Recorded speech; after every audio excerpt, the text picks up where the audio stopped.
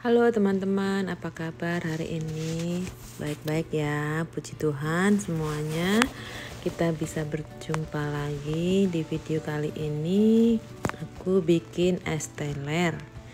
Ini enak banget, bisa juga dijadikan ide jualan ya. Pertama kita siapkan santan, kita kasih sedikit garam dan gula, lalu kita rebus hingga mendidih.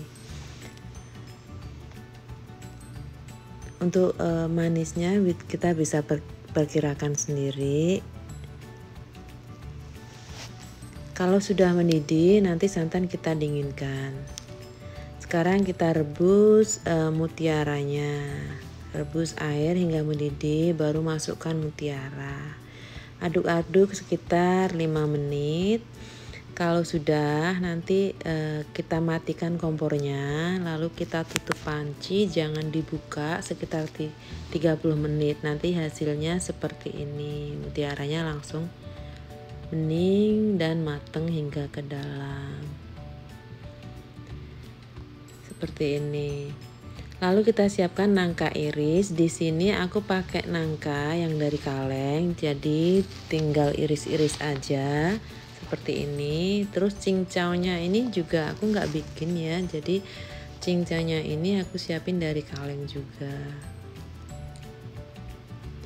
Terus untuk kelapa mudanya ini bukan kelapa muda KW yang dibuat dari agar-agar tapi aku pakai benar-benar kelapa muda yang diiris-iris tipis. Ini biji kolang kalingnya kita bilas lalu kita tiriskan di sini aku juga ada avocado potong-potong yang udah aku siapkan. Seperti ini. Nah, setelah barang-barangnya semuanya ada, kita nanti langsung siapkan mau pakai cupnya yang seperti apa. Di sini aku pakai cup yang 6 ukurannya 16 ozi. Seperti ini, lumayan banyak nih. Nah, pertama kita masukkan dulu biji mutiaranya. Seperti ini. Lalu kita masukkan cincau.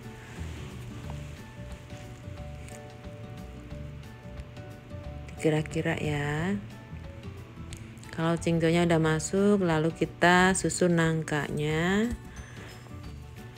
Ditaruh di atasnya sampai semuanya dapat rata. Kalau nangkanya sudah nanti kita terus masukkan kelapa mudanya.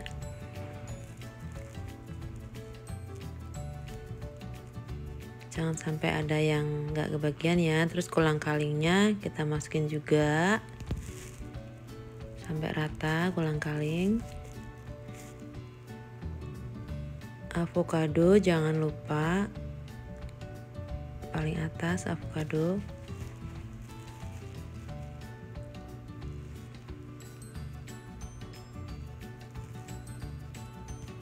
Sampai semuanya terbagi rata.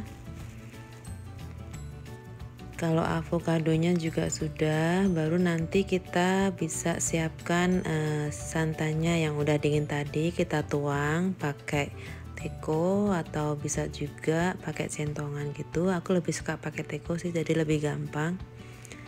Seperti ini jadinya.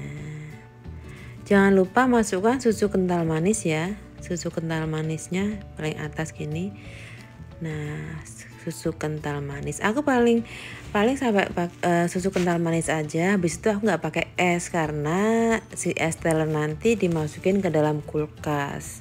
Jadi nggak ada campuran es batunya begitu diminum langsung dingin nah lumayan kan bisa buat ide jualan ini kalau dirupiahkan satu cupnya itu sekitar 90.000 di sini dijualnya 6 dolar aja lumayan kan sekali jualan bisa dapat berapa ratus dolar.